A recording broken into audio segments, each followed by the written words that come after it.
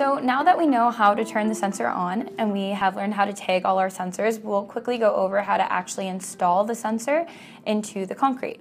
So I have here um, a sample of concrete formwork with some rebar inside. We're going to be using this to do the demonstration.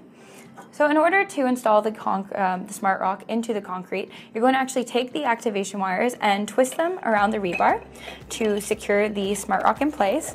And we do recommend that you uh, find a place where the rebar intersects just to have um, the SmartRock as stable as possible and so it doesn't rotate during the pour. Then um, you're going to take your temperature probe and also tuck it under the rebar and have it in place so that uh, it can be protected from any physical damage like so.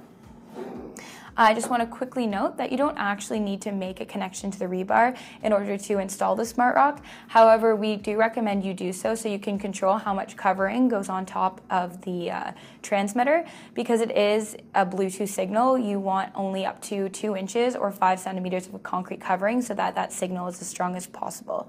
Now, once you do your pour, the um, range for the transmitter is up to 8 meters or 25 feet. So now that you have it all good to go, I'll just give you another quick look. You're able to do your concrete pour and be set to go.